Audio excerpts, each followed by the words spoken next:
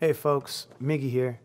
I'd like to remind everyone that although dining in isn't necessarily an option these days, uh, a lot of these restaurants, all of these restaurants, still need our support.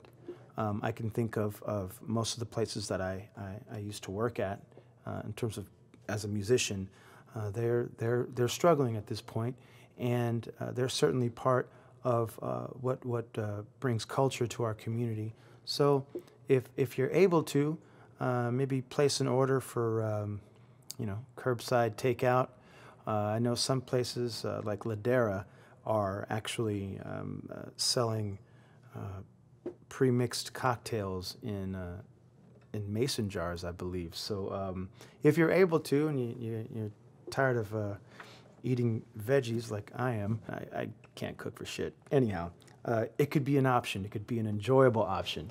So uh, let, let's let's uh, lift up our, our community members uh, in any way that we can, and um, hopefully we'll we'll get through this sooner than later, and uh, be better for it on the other side.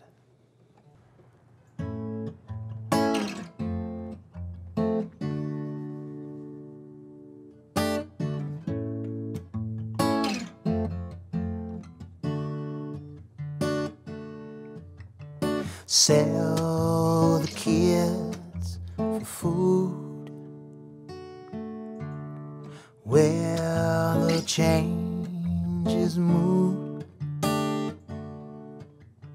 Spring is here again.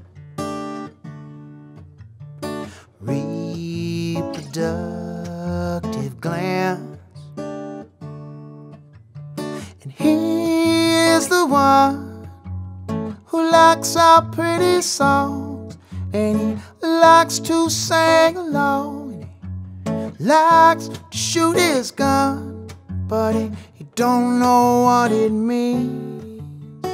Don't know what it means when I say, yeah, when I say.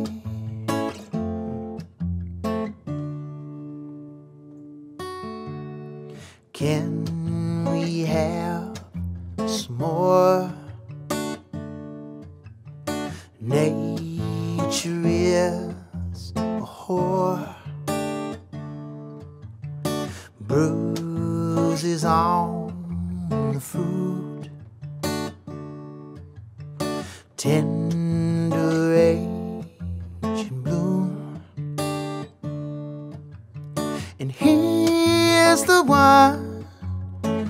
likes our pretty songs.